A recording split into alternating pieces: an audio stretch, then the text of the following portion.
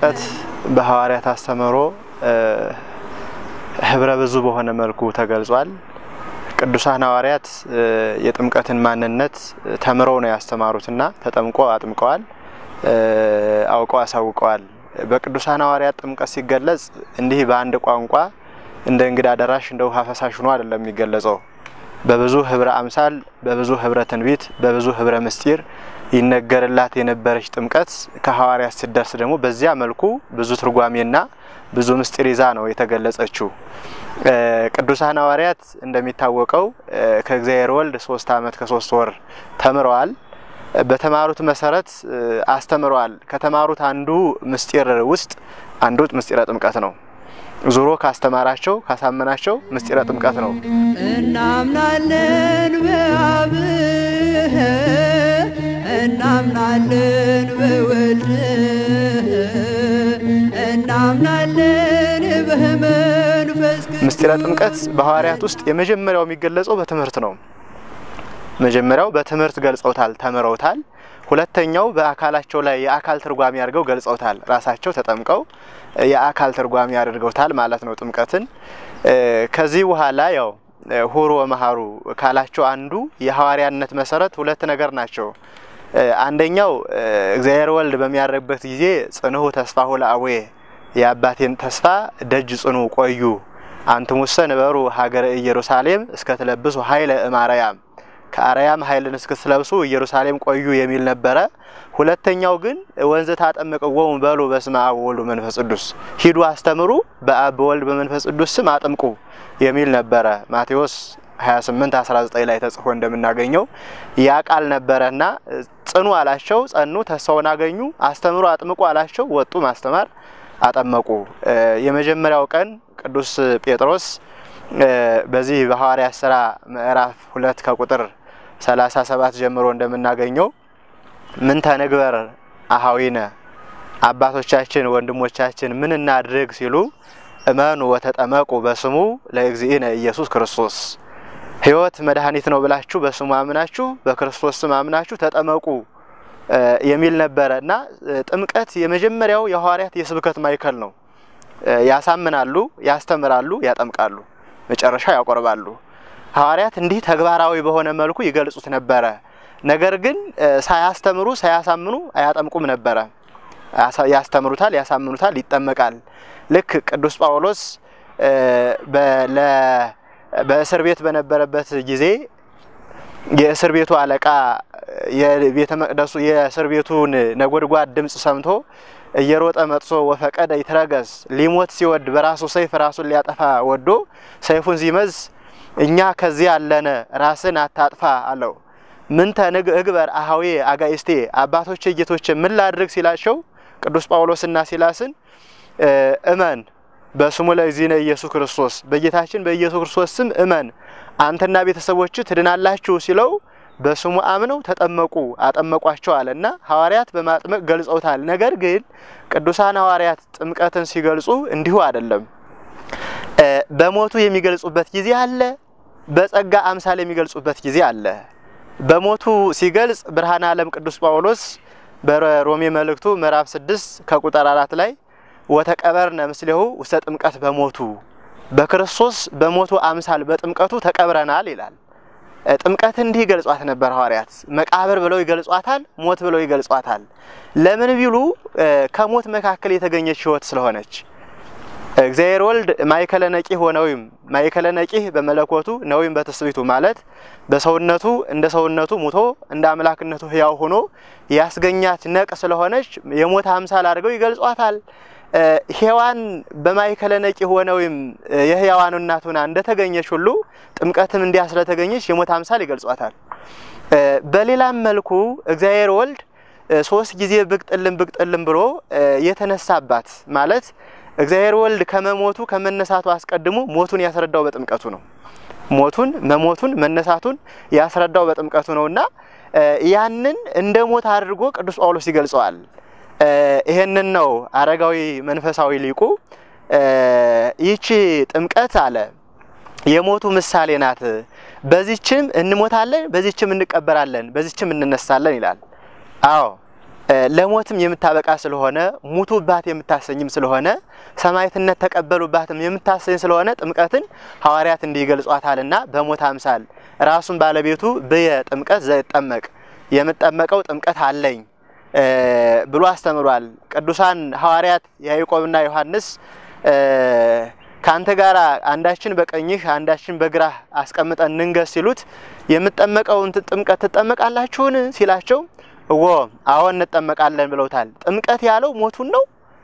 ጽዋ ያለው ሞቱን ነው። ለምን ጥምቀትን ሞቱ በሞት መሰለው ቢሉ ጥምቀት ሞት በተራ ይደርሳል፣ ጥምቀትም ለሚያምን ሁሉ የግድ ይደርሰዋልና የግድ የሚደርሰው ስለሆነ በሞት ይገልጸዋል። በሌላም መልኩ ሞትን ጥምቀት ብሎ ይጠራዋል፣ መንጽሔ ስለሆነ ሞት ያነጻል። እስመ ሞት ቀደሰ አበው በዚህ በፍትሐ ነገሥት ላይ በሌሎችም መጻሕፍት ላይ አንድ ሰው ደም የሚፈሰው ቢሆን ቢሞት ከመቀበር ወደ ቤተ እግዚአብሔር ለመቀበር ወደ ቤተ እግዚአብሔር ሲሄድ አይከልክሉት። ለምን ቢሉ በሕይወት እያለ ደም የሚፈሰው ሰው ቢኖር ወደ ቤተ እግዚአብሔር አትሂድ። አንድ እናትም እንዲሁ በወላድነት ጊዜ ብትሞት ወደ ቤተ እግዚአብሔር ሂዳ ትቀበር። ለምን ቢሉ በሕይወት እያለሽ የሩቅ ቢሲ ደም አይፈስበትምና ደመ መለኮት በነጠበበት አትሂድ። እስመ ሞት ቀደሳ። በሞት ጊዜ ግን ሞት ይቀድሳል ሞት ያነጻል ብለዋል። ስለዚህ መንጽሔ ስለሆነ በሞት ይገልጹታል። የሚገልጹበት ጊዜ አለ እና ሞት ብለው ይገልጹታል። ስለዚህ ቅዱሳን ሐዋርያት ሲያስተምሩ ሞቱን እናስተምራችኋለን፣ በዚህ በሞቱ ብንመስለው በሕይወቱ እንመስለዋለን ብለዋል። ማለት በጥምቀቱ ሞት ምሳሌነት ብንመስለው በትንሣኤው እንመስለዋለን ብለው አንድ ቦታ ላይ ገልጸውታል። በሌላ ቦታ ላይ ደግሞ ጸጋ ብለው የሚገልጹበት ጊዜ አለ ሐዋርያት። ቅዱስ ጳውሎስ ይህንን ቃል በብዙ ቦታ ላይ ጸጋሁ ለእግዚእነ ኢየሱስ ክርስቶስ የጌታችን የኢየሱስ ክርስቶስ ጸጋው ከእናንተ ጋር ይሁን ይላል። ጸጋ ብሎ የሚጠራበት ምክንያቱ ጸጋ ተተርጉሞ ያላለቀ የማያልቅም ምስጢር ነው። ጸጋ ተተርጉሞ ያላለቀ የማያልቅም ነው። ብዙ ጊዜ በጸጋው ድነናል እንዲህ እንዲህ እያለ ይገልጻል። እንድናለን እያለ ይገልጻል። ጥምቀት ናት። ለምን ጸጋ ይላታል ቢባል ጸጋ ማለት ስጦታ በለጋስነት የሚሰጥ ማለት ነው። እግዚአብሔር በቸርነቱ ከራሱ ማየገቦ እንድንወለድ ውሃውን ወደ ማየገቦነቱ ቀይሮ እንድንወለድ የሚያደርግን ትልቅ ምስጢር ስለሆነ ጸጋ ይለዋል። ከጸጋም በላይ ጸጋ ራሱ ባለቤቱ በሚያስተምርበት ጊዜ ቅዱስ ዮሐንስ የተናገረው ቃል አለ። እስመ ኩልነ ነሳይነ እኛ ሁላችን በጸጋው ላይ ጸጋን ተቀብለናል ይላል። የዮሐንስ ወንጌል ምዕራፍ 1 ቁጥር 16 ጀምሮ እስመም ተረፈ ነሳይነ ኩልነ ጸጋ ከረሱ የተረፈውን ከፍጹም ቸርነቱ ከተፈጸመ ሀብቱ ጸጋን አግኝተናል አለ። ጥምቀት ማለት ነው። ጥምቀት ለፍጹሙ ጸጋ የምታበቃ ቅሉ ጥምቀት ስለሆነች ካልተጠመቀ አንድ ሰው ሰማያዊውን ጸጋም አያገኝም። በምድርም ተወስኮ ዘነሳያን በገነትም አለ። ይሄ በምድር ቅዱሳን እስከ አስሩ ማዕረጋት የሚደርሱበት ጸጋ አለ። ይህንንም አያገኘውም። ጥምቀት ካለ ግን ይህን ሁሉ ያገኘዋልና ጸጋ ብሎ ይጠራታል። ለዚህ ነው አባቶቻችን ጸጋሁ ለእግዚአብሔር ያህሉ ምስሌክሙ በኪዳኑ ጊዜ ጸጋው ከእናንተ ጋር ይሁን አለ። በጥምቀት ያገኛችሁት ልጅነት አይለያችሁ ማለታቸው ነው። አይለያችሁ፣ ያጽናላችሁ። በጥምቀት ያገኛችሁትን እንዲሁ ያድስላችሁ፣ ፍጹም ያደርግላችሁ። በዚያው እየበረታችሁ ሂዱ። ጸጋው ሀብተ ወልድና ሕይወተ ልቡና ገቢረ ተአምራት ወመንክራት ሀዩ ከመመላይ ተስፋ መንግስተ ሰማያት ስሬት ኃጢአት እያሉ ይገልጹታልና ጸጋ ብሎ የሚጠራ ስለሆነ ሌላውም ሰው ቅሉ መሰረታዊ ጉዳዩ የጥምቀት መሰረቱ ጸጋን ማስወሰድ ስለነበረ ትልቁ ጸጋም የጥምቀት መሰረቱ መሰራቱ ጸጋ መመለሰ ስለሆነ ጸጋ ይላታል መጽሐፍ። የቲቶ ወደ ቲቶ መልእክት ቅዱስ ጳውሎስ ለቲቶ በላከው መልእክቱ ምዕራፍ ሁለት ከቁጥር 10 ላይ 11 ላይ ጀምሮ የሚናገረው ቃል አለ። እነሆ ለጸጋው የጠራን እርሱ ነው እያለ ይናገርለታል። ጸጋው ጥምቀት ማለቱ ነው። ጥምቀት ስለዚህ ጸጋ ተብሎ በመጻሕፍት ላይ ሲነገር አንደኛው ምስጢር ለጥምቀት እንደሆነ፣ ሌላውም ደግሞ እንዲሁ እንደ ሁኔታው ይተረጎማል። እኩት እግዚአብሔር በእንተ ጸጋው እንተ ይትተረጎም ወትመጽእ አመ ይትሐዘብዋ ስለማይነገር ጸጋው እግዚአብሔር ይመስገን በሚልበት ጊዜ ትንሣኤ ሙታን ይሆናል። እንደዚህ በሚልበት ጊዜ ደግሞ ምስጢር ምስጢረ ጥምቀት ይሆናል። ስለዚህ ቅዱሳን ሐዋርያት በጸጋ ላይ ጸጋ ብለው ይችን ምስጢር ገልጸዋታል። በሌላም መልኩ ይችን ምስጢር ህሪት ህሪት እያሉ የሚገልጹባት ጊዜ አለ። ህሩይነት ምርጥ ብሎ ይገልጻታል። ወእም ቅድመ ይባው ውስተ ህሬት ይደሉ ይማሃርዎሙ ቃለ ሃይማኖት መጽሐፈ ሲኖዶስ ወደ ህሬት ወደ ህሩይነት ከመግባታቸው አስቀድሞ ቃለ ሃይማኖትን ያስተምሯቸው ይላል። ህሩይነት ያለው ጥምቀት ማለት ነው። ወደ ጥምቀት ከመግባታቸው አስቀድሞ የሃይማኖትን ቃል ያስተምሯቸው። ህሩይነት ማለት የተመረጠ መመረጥ፣ መለየት ማለት ነው። ይችን ቃል ቅዱስ ዮሐንስ መልእክቱ ምዕራፍ አንድ ናት ያለችው መልእክቷ ቁጥር አንድ ላይ እምነ ለህሪት ለእንተ አነ ወለ እግዝት ለእንተ ወለ ደቂቃ ወለ እንተ አነ አፈቅራ በጽድቅ ከቄሱ ከኔ ከዮሐንስ የተላከች መልእክት ለህሪት ለህሪት ትድረስ ይላል። ግዕዙ ቋንቋ አበጥሮ አንጠጥሮ ያስቀምጠዋል። ህሪት ማለት ጥምቅት ማለት ነው፣ የተጠመቁ ማለት ነው። ቅዱስ ጴጥሮስም በአንደኛ ጴጥሮስ ምዕራፍ አንድ ቁጥር አንድ ላይ እምጴጥሮስ ልዑከ እግዚእነ ኢየሱስ ክርስቶስ ለህሮያን እልሃለው ውስተ ሀገረ ጳንጦስ ከጴጥሮስ ከጌታችን ኢየሱስ ክርስቶስን ከሚያገለግል ከጴጥሮስ የተላከች መልእክት ለህሮያን ትድረስ ይላል። ጥሙቃን ማለት ነው። ጥምቀትን ህሪት ይላታል። የተመረጡባት ስለሆነች የሚለዩባት ስለሆነች። በሌላም መልኩ ቅዱስ ጳውሎስ ወይዜኒ ንጻ አፋ እምትዕይንት እንዘ ንጸውር ትዕይርተ መስቀሎ ለክርስቶስ የክርስቶስ የመስቀሉን ተግዳሮት ተሸክመን እንለይ ከዓለሙ እንውጣ እንዲል ከዓለሙ የምትለይ ስለሆነች ሰማዕታትን አነሳስታ ወደ ገዳም ወደ ደም ጻድቃንን አነሳስታ ወደ ገዳም የምትለይ ስለሆነች ህሪት የተመረጠች ምርጥ ብሎ ይጠራታልና ጥምቀትን ቅዱሳን ሐዋርያት በዚህ መልኩ ህሪት እያሉ ይጠሯታል ማለት ነው። ሌላም የምታስለይ ስለሆነ እናምናለን በአብ እናምናለን በወልድ እናምናለን በመንፈስ ቅዱስ እሳት ብለው የሚጠሯት ጊዜም አለ። ቅዱስ ዮሐንስ በዚህ ዮሐንስ ወንጌላዊ ማቴዎስ ወንጌል ላይ ምዕራፍ 3 ከቁጥር 12 ላይ ወውቱ ያጠምቀክሙ በመንፈስ ቅዱስ ወበእሳት በመንፈስ ቅዱስና በእሳት ያጠምቃችኋል ይላል። ይሄ ማለት በመንፈስ ቅዱስ በጥምቀት እሳትነት ያጠምቃችኋል፣ በመንፈስ ቅዱስ እሳትነት ያጠምቃችኋል ብሎ ያስቀምጠዋል። ይሄንን ቃል ነቢየ እግዚአብሔር አስቀድሞ በመዝሙሩ የተናገረውን ነው የተረጎሙት። ነቢዩ በመዝሙር 65 ከቁጥር 12 ላይ አይለፍከነ ማእከለ እሳት ወማይ ወአጻእከነ ውስተ ዕረፍት፣ አቤቱ በእሳትና በውሃ መካከል አሳለፈን ይላል። እሳት ያለው ያሱ ጥምቀቱ አባቶች ካህናት አሃዱ አብ ብለው ሲባርኩት ወደ ማየገቦ ወደ እሳትነት ወደ ነበልባልነት ወደ ነደ መለኮትነት ይቀየራል። ያንን እሳት ብለው ይጠሩታል። በእሳት አምሳት ይገልጹታል። ይሄንን ሊቁ አረጋዊ መንፈሳዊ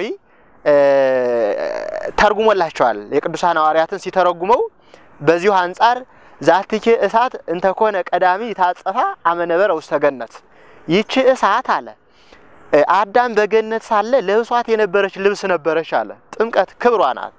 ወአመበላ እምፅ ታረቀ እምኔሃ እጸ በለስን ሲበላ ከእርሷ ተራቆተ። እስከ አመ ይመጽእ አዳም ዳግማዊ ዳግማዊ አዳም ክርስቶስ እስኪመጣ ድረስ ወአልበሶ ያሃ እኑመ እማይ ወእም መንፈስ ቅዱስ ከውሃና ከመንፈስ ቅዱስ የተሰራሽ ያችን ልብሰ እሳትን እስኪያለብሰው ድረስ ብሏል። በልብሰ እሳት ተርጉሟታልና ይህንንም ሲተረጉም ዛቲ እሳት እንተ ወከቶ ለስሞን ጴጥሮስ ጴጥሮስ ስሞንን ያነሳሳችው ለስብከት ይቺ እሳት ናት አለ። ይቺ ጥምቀት አላውያን ነገስታት አላውያን መኳንንት ካሉበት ገብቶ እሳቱን፣ ስለቱን፣ ሰይፉን፣ ግርፋቱን ሳይፈራ እንዲያስተምር ያደረገችው ይቺ ጥምቀት ናት። ዛቲኬ እሳት እንተ ወከት እንተ ነደት ውስተ ልቡ ለጳውሎስ ሐዋርያ በጳውሎስ በሐዋርያው በጳውሎስ ልቡና ውስጥ እንደ እሳት ትነድ የነበረች ይቺ እሳት ናት ይላል። ይቺ እሳት በልቡናው ትቀጣጠል ነበረ። እስመ አነ እቀን ለሕገ ክርስቶስ ለአባቶች ሕግ ለክርስቶስ ሕግ እቀናለሁ እያለ ይናገራት የነበረች እሳት ናት። ለምን እሳት አላት ከተባለ ጥምቀትን እሳት ከሁሉ ቦታ አለ። ድንጋዩን ከድንጋይ ቢያሳብቁት ቢያማቱት እሳት ይወጣዋል። እንጨቱን ከእንጨት ጋር ቢያማቱት እሳት ይወጣዋል። እሳት የማይደርስበት የለምና ጥምቀትም የማትደርስበት ያልተሰራችበት ቦታ የለም። እሳት ከአንድ ቦታ አንዱን ፋና ቢቀዱት ከአንድ ቦታ አንዱን ፋና እየቀዱ ቢያባዙት አምሳ ስልሳ ፋና ቢቀዱለት አያልቅም። ሀብተ ጥምቀት ምስጢረ ጥምቀትም ተፈጻሚ አይደለም አያልቅምና በእሳት ይገልጸዋል። እሳት በመጠን ከሞቁት በአግባብ ከሞቁት ሕይወት ይሆናል፣ ደዌ ያርቃል፣ ብርድ ያርቃል። ጥምቀትንም ከጠበቋት በአግባብ ከያዟት ክህደትን ካረቃለች፣ ጸጋን ታመጣለች። እሳት ያበስላል፣ ጣዕም ያመጣል። ጥምቀትም ደግሞ ጣዕመ ጸጋን ጣዕመ ምስጢርን የምታመጣ ስለሆነ በእሳት የሚገልጹበት ጊዜ አለ። በሌላ መልኩ እንደሚታወቀው አበው ሲገልጹ ለምን ጥምቀትን እሳት አላት አሉ። እንደ ቡላድ ቡላድ ማለት የክብሪት እሳት ወይም ደግሞ ከድንጋይ ጋር ተሳብቆ ተማቶ የሚወጣ እሳት ነው። ያ እሳት ሲጫር በመጠን ነው። በኋላ ሳሩን፣ ቅጠሉን፣ እንጨቱን ሲጨምሩለት እሳቱ እየበዛ እያየለ ይሄዳል። ጥምቀትም ስትሰጥ በመጠን ነው ሀብቷ። ጸጋውን ክብሩን ለማብዛት ትሩፋት ምግባር ሲጨምሩባት እየበዛች ትሄዳለች። ስለዚህ በእሳት አምሳል ገለጿት ብሎ አስቀምጠዋል። መንግስተ ሰማይ ብሎ ያስተማሩበት ጊዜም አለ። ጥምቀት መንግስተ ሰማይ ብሎ የገለጿት ጊዜ አለ። ቅዱስ ማቴዎስ የጌታን ትምህርት ሲገልጽ ትምጻ መንግስትከን ጽፏል። መንግስት ትምጣ ማቴዎስ ምዕራፍ 6 ከቁጥር 10 ላይ መንግስት ትምጣ ብሎ በመንግስት ገልጿታል። መንግስት ማለት ልጅነት፣ ጥምቀት ማለት ነው። ልጅነት በጥምቀት ትሰጠኝ በሉኝ ሲል ነው አለ። መተርጉምኒ ሰማያ ለትምጻ መንግስት ከሶሳፌ ንጽህ መተርጉምህ አለ ትምጻ መንግስት የተባለችውን መንግስት ትምጣ ምንላትን የንጽህና በጥምቀት የምናገኛት ንጽህ ብሎ ተረጎማት ተረጎማት አለ። ለምን መንግስት አላት አሉ ለሰማያዊ መንግስት የምታበቃ ስለሆነ ውሉደ እግዚአብሔር የምታሰኝ ስለሆነ የእግዚአብሔር ደቂቀ እግዚአብሔር የምታሰኝ ስለሆነ መንግስት ይላታል። ይሄንን ቅዱስ ዮሐንስ መጥምቅ ከሐዋርያት እንዳንዱ ሆኖ ሲያስተምር ነሱ ወመኑ እስመ ቀርበት መንግስተ ሰማያት መንግስተ ሰማያት ቀርባለችና ንስሐ ግቡ አለ። ይሄ ማለት ልጅነት ደጊቱ በልጅነት ልጅነት በሃይማኖት ልትሰጥ ቀርባለችና ጥምቀት ማለት ነው። አሁን ጥምቀት ልትሰጥ ቀርባለችና ንስሐ ግቡ እመኑ ተጠመቁባት ብሎ አስተምሯል። መንግስት ይላታል። ይችን መንግስተ እግዚአብሔር ብሎ በየአንቀጹ የሚጠራት ነው። ለዚህ ነው እግዚአብሔር ወልድ መንግስተ እግዚአብሔር መንግስተ ሰማያት በእርሻው መካከል ህጠተ ሰናፔ የሰናፍጭ ቅጣትን የዘራ ትመስላለች ብሎ እሷ ትንሽ ናት፣ ባደገች ጊዜ ወፍን ትሰበስባለች። ጥምቀትም ስትሰጥ ትንሽ ናት፣ በቅዱሳን አካል ስትበዛ ስታድግ ግን ብዙ አይዋፋትን በቃል ኪዳንነት ትሰበስባለች እና እንዲህ እያለ የሚጠራት ጊዜ አለ። በሌላም መልኩ ቅዱሳን ሐዋርያት ይህችን ጥምቀት በልብስ የሚጠሯት ጊዜ አለ። ልብስ ብለው ይጠሯታል። ሉቃስ ወንጌላዊ በሉቃስ ወንጌል ምዕራፍ 15 ላይ ሲገልጽ ስለ ጠፋው ልጅ ሲናገር ቅዱስ ሉቃስ እንዲህ ብሎ ጽፏል። አምጹ ፍጡነ አልባሰ ቅዱአተ ወአልብስዎ፣ ፈጥናችሁ ያማረውን ልብስ አምጡና አልብሱት፣ ክብረ ጥምቀቱን መልሱለት። ሀብተ ጥምቀቱን መልሱለት፣ ምስጢረ ጥምቀቱን አድሱለት፣ አጽኑለት ብለው ገልጸዋታል። ለምን? ልብስ ዘይተአንመ ወክዳን ዘይተፈትለ፣ ይችም ልብስ ያልተፈተለች ያልተታታች በእደ እግዚአብሔር የምትሰጥ ናት። ለምን በልብስ አንጻር ይገልጿታል ቢባል ልብስ እንደ ሁኔታው ይገለጻልና ጥንቱን ልብሰ ብርሃን ተወስዶብን ስለነበረ አዲሱን ልብስ ስለመለሰልን ልብሰ ጸጋን የምታሰጥ ስለሆነ በወዲያኛውን ዓለም በወዲያኛውም ዓለም ለብሰን የምንነሳባት ስለሆነ ይቁ ይሄንን አባ ጊዮርጊስ ወደ ማዩ ወደ ውሃው በወረደ ጊዜ እንዲሁ ይወርዳል፣ ራቁቱን ይወርዳል። ከውሃው በወጣ ጊዜ ግን ልብሰ ብርሃን ለብሶ ይወጣል ብለው በመጽሐፈ ምስጢር ገልጸዋል። ያንን ሐዋርያት በልብስ ገልጸውታል። በልብሰ ብርሃን እየገለጹ አስተምረውበታል። በሌላም መልኩ ይህችን ጥምቀት እንዲሁ አይደለም የተዋት በብዙ ህብረ አምሳል የተመሰለች እንደመሆኗ መጠን በጦር ዕቃ መስለው የሚናገሩበት ጊዜ አለ። ቅዱስ ጳውሎስ ከሐዋርያው ከሐዋርያት እንዳንዱ ሆኖ ሲያስተምር በዚህ በኤፌሶን መልእክቱ ምዕራፍ 6 ከቁጥር 16 ላይ ነሆ የጦር ዕቃን እንያዝ በዘንክ ለአጥፎተ ኩሉ አይጻሁ ለጸላይ ለሰይጣን የሰይጣንን ጦር እንዋጋው ዘንድ እነሆ የሜዳ ጸብጥ የጦር ዕቃን እንያዝ ብሏል። ጥምቀት ነው ይሄ ዕቃ ጥምቀትን ማለት ነው። መተርጉማን በሚገባ አስቀምጦታል። የሐዋርያትን ሲያስቀምጡ ጥምቀትን ነው። ለምን ጥምቀትን የጦር ዕቃ አላት ቢሉ አሉ በቀድሞ አበው ምሳሌ ነው። ቀድሞ አንድ ንጉሥ አንዱን ሊዋጋው ሲሄድ ጦሩን ስሎ ከእሳት አግሎ መርዝ ቀብቶ ይሄዳል። ከወዲያ ማዶ ያለው አርበኛም እንደመጣበት አውቆ ጋሻውን ጀባ የሚባል የልብስ ድዝዳዝ አለ የተጎዘጎዘበት ያንን በውሃ ነክሮ ጋሻውን አለብሶ ይቆየዋል። ጦሩን ጋሻው ይመልስለታል። እሳቱን ውሃው ያቀዘቅዝለታል። እንደገና መርዙን ደግሞ ጋሻው ላይ የተደዘዘው ያ ድዝዳዙ ይመልስለታል፣ ይጠርግለታል ብለዋል። ይህም ማለት ቅዱሳን ጦሩ የዲያብሎስ ፈተና ነው። እሳቱም የሚያመጣው ፈተና ነው። ነገር ግን ያ ሰው ጦሩን እንዲመልሰው በውሃ እንዲያቀዘቅዘው ግለቱን ቅዱሳን አበውም ምእመናንም በጥምቀት ባገኙት ልጅነት የሰይጣንን ጾር ድል የማድረጋቸው የማቀዝቀዛቸው ምሳሌ ብለው ገልጾታል። ለዚህ ነው ሐዋርያው ቅዱስ ጳውሎስ ሮሜ ምዕራፍ 3 ከቁጥር 12 ላይ ወነልበስ ወልታ ብርሃን የብርሃንን ጋሻ እንያዝ ብሎ የገለጸው ከመናን ሶስቱ ምግባረ ጽድቅ በጽድቅ ጎዳና እንመላለስ ዘንድ የብርሃን ጋሻ ብሎ ጥምቀትን ይገልጻታልና ከሰይጣን ጋር የምንስተላለፍባት ስለሆነች ድል የምናደርግባት ስለሆነች በዚህ ሁሉ ይገልጿታል። በውሃም የሚገልጹባት ጊዜ አለ። ያው ውሃ የታወቀ ነው። በውሃ በብዙ ቦታ ገልጸውታል። ውሃ ያነጻል፣ ጥምቀትም የምታነጻ ስለሆነች፣ ውሃ ያለመልማል፣ የምታለመልም ስለሆነች፣ ውሃ ድፍን ያስወግዳል፣ ጥምቀትም ታስወግዳለች እና ውሃን መልክን ያሳያል። ጥምቀትም መልክዓ ነፍስን የምታሳይ ስለሆነች እንዲህ እንዲህ እያሉ በውሃ ይገልጿታል። ውሃ ለድሃውም ለባለጸጋውም ለሁሉም ይገኛል። ውሃ አያስፈልገኝም የሚል ሰው የለም። ፍጡር ከሆነ ውሃ ያስፈልገዋልና ጥምቀትም ለድሃውም ለባለጸጋውም ለሁሉም መሰራቷን መናገር ነውና ሐዋርያት በዚህ ሁሉ ገልጸውታል። ወሀበነ ወማየ መንጽሔ ዚሃነ የሚያነጻን ውሃንን ሰጠን ብለዋል። ምን ነው ይሄን ውሃ ውሃ ለምን ብሎ አጠራው? ማየገቦ ለምን አይለውም ብሉ ይላል። በአምሳለ ማይ የሚሰጠን ስለሆነ የምናየው በአምሳለ ውሃ ስለሆነ ብለው ገልጸዋልና ቅዱሳን ሐዋርያት ጥምቀትን እንደዚህ በውሃ ይገልጿት ነበረ። ይህም ብቻ አይደለም።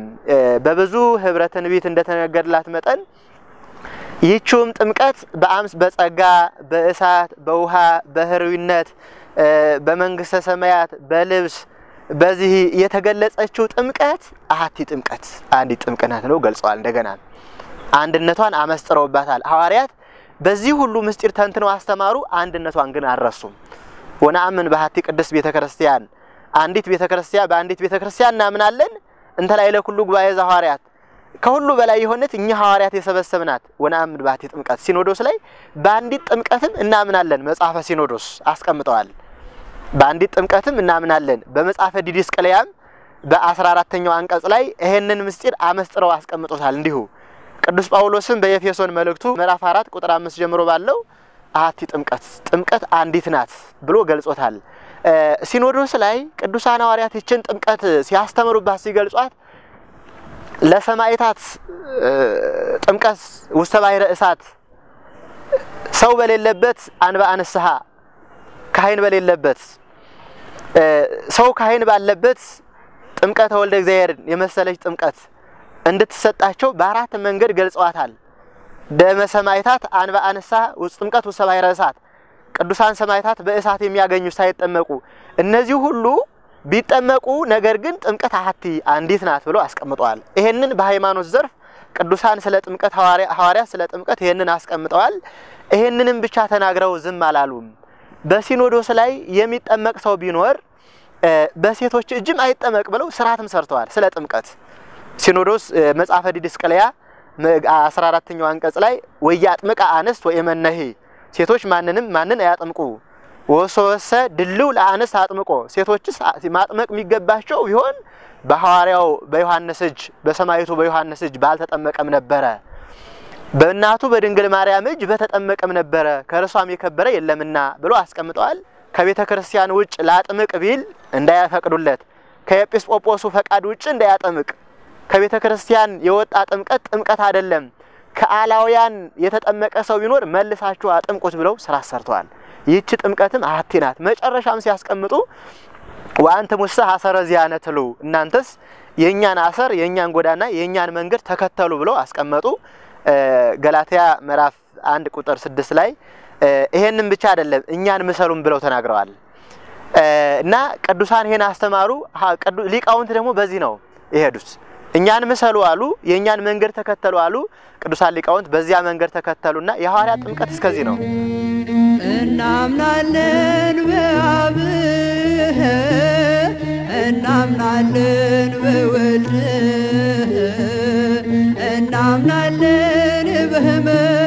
ጥምቀትን እኛ አይምሯችን በደረሰው መጠን ሰፊ ነው፣ ተተንትኖ አያልቅም።